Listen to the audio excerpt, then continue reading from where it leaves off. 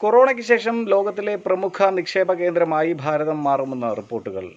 ഇതിന്റെ മുന്നോടിയായി വിവിധ രാജ്യങ്ങളിലെ ഇന്ത്യൻ എംബസികൾക്ക് പ്രത്യേക ഉത്തരവാദിത്വം നൽകിയിരിക്കുകയാണ് കേന്ദ്ര സർക്കാർ.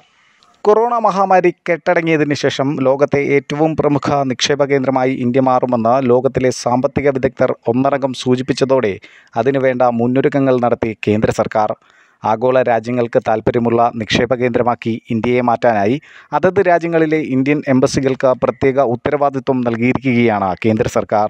ഇതിന്റെ പ്രാരംഭഘട്ടമെന്ന വണ്ണം വിദേശ ബിസിനസ് കമ്പനികളുമായി ചർച്ച നടത്താൻ കേന്ദ്രം വിവിധ എംബസികളോട് നിർദ്ദേശിച്ചു.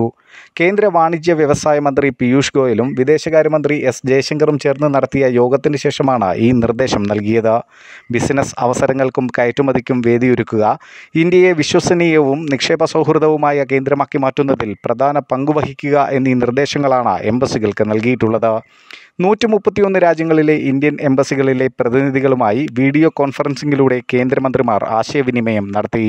ഇൻവെസ്റ്റ് ഇന്ത്യ നിക്ഷേപ പ്രോത്സാഹന ആഭ്യന്തര വ്യാപാര വകുപ്പ് എന്നിവ സംയുക്തമായി ഇന്ത്യയിൽ ഫാക്ടറികളും നിർമ്മാണ യൂണിറ്റുകളും സ്ഥാപിക്കുന്നതിന് ഏകജാലക സംവിധാനം രൂപീകരിക്കാനുള്ള ശ്രമത്തിലാണ്. കൊറോണയ്ക്ക് ശേഷമുള്ള കാലഘട്ടത്തിലെ വാണിജ്യ വ്യവസായ സാധ്യതകളെപ്പറ്റി നിർദ്ദേശങ്ങൾ നൽകാൻ വിദേശ എംബസികളോട് വാണിജ്യമന്ത്രി ഇതിനോടകം തന്നെ ആവശ്യപ്പെട്ടിട്ടുണ്ട്. കൂടാതെ കൂടുതൽ കമ്പനികളുമായും ബിസിനസ് സംരംഭങ്ങളുമായും മികച്ച ബന്ധം സ്ഥാപിക്കാനും അതിലൂടെ വ്യാപാര ശൃംഖല വിപുലപ്പെടുത്താനും മന്ത്രി നിർദ്ദേശിച്ചിട്ടുണ്ട്. നിലവിലെ സാഹചര്യത്തിൽ എല്ലാ രാജ്യങ്ങളും പ്രതിസന്ധി നേരിടുമ്പോൾ വാണിജ്യത്തിലൂടെയും നിക്ഷേപത്തിലൂടെയും കരകയറാൻ ഇന്ത്യ ഊർജിതമായ പദ്ധതികളും ശ്രമങ്ങളും ഇതിനോടകം തന്നെ ആരംഭിച്ചിട്ടുണ്ട്.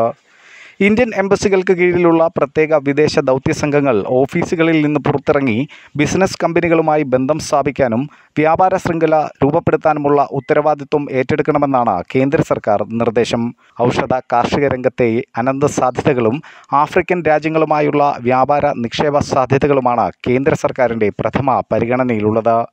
അമേരിക്കൻ യൂറോപ്യൻ രാജ്യങ്ങൾ വരും നാളുകളിൽ അഭിമുഖീകരിക്കാൻ പോകുന്ന വൻ തകർച്ച മുന്നിൽ കണ്ടാണ് വലിയ സാധ്യതകളുള്ള ആഫ്രിക്കൻ രാജ്യങ്ങളുമായുള്ള വ്യാപാര നിക്ഷേപ കരാറിന് കേന്ദ്രം പ്രത്യേക താൽപ്പര്യമെടുക്കുന്നത് അതിനാൽ തന്നെ ഒരു കാര്യം ഉറപ്പിച്ചു പറയാനാകും.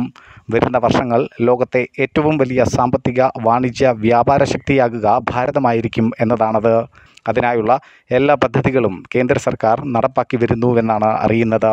ന്യൂസ് ഡെസ്ക് തത്മൈ ന്യൂസ്.